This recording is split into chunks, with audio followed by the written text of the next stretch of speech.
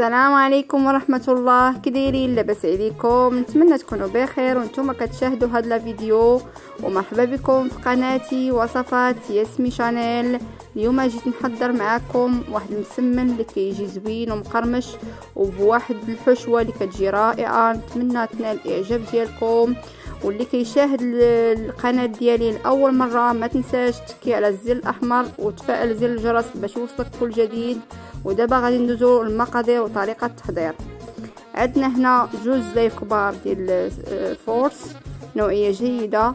غنضيفو ليهم واحد جوج معالق زبدة لينة.